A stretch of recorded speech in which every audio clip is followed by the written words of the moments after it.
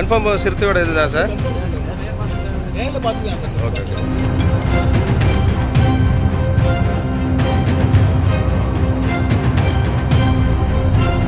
இப்போ நைட்டு பன்னெண்டு டியூட்டி முடிஞ்சு வருவாங்க. டியூட்டி முடிஞ்சு வரப்போ அண்ணாப்பேட்டை அப்படிங்கிறதுக்கு ஒரு பத்து நாய் வெட்டிட்டு வரதை பார்த்தாங்க. சரி எனக்கு அதுக்கு ஒரு அஞ்சு அடி கூட அவ்வளோதான் இருக்கும். இல்லை நாய் வெட்டிட்டு வரது அப்படின்னு உத்து பார்க்குறோம் உருவம் பெருசாக இருக்குது என்ன பெருசாக இருக்குன்னு பார்க்குறோம் ஃபுல்லாக பார்த்துட்டான் நான். கரெக்டாக ஒரு ஒரு வண்டி பெரிய வண்டி பெருசு நல்ல இவ்வளோ பெருசு இவ்வளோ பெருசு சார். இவ்வளோ பெரிய புள்ளி. பார்த்தா கெஸ் பண்ணிட்டேன்.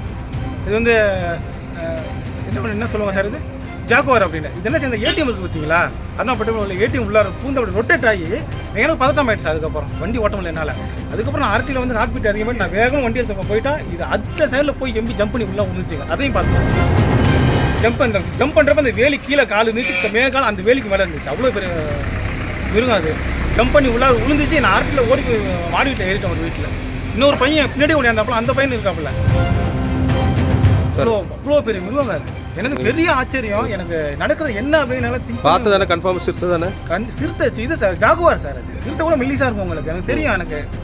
ஜாகுவார் நல்ல பெரிய உடம்பு பெரிய உடம்பு பெருசு நல்ல புள்ளி பெருசா இருந்துச்சு. கட்டத்துல நடுவில் கரு பிளாக் புள்ளி புள்ளி பெரிய பெரிய உடம்பு ஃபுல்லாக புள்ளி இருந்துச்சு.